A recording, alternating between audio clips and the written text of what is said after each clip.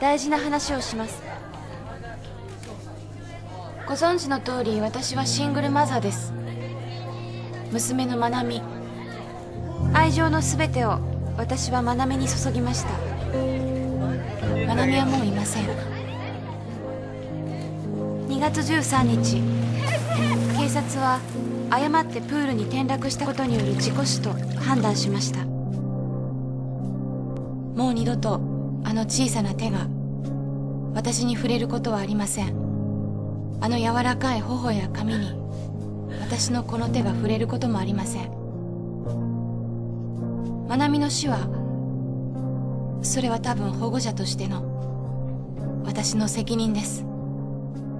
でもこのまま終わりにはできない。まなみは死にました。でも事故死ではありません。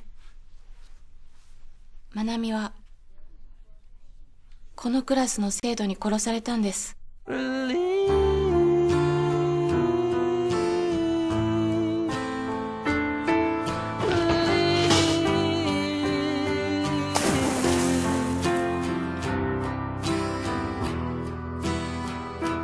さらな気持ちで君たちに向き合いたい。やればできる子なんです。命は重いですか？君は明らかに出来損ないだ。よこそ出来損ないだ。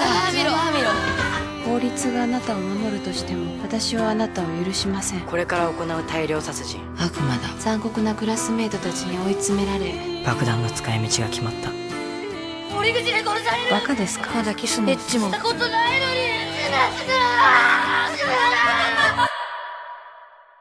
ッカ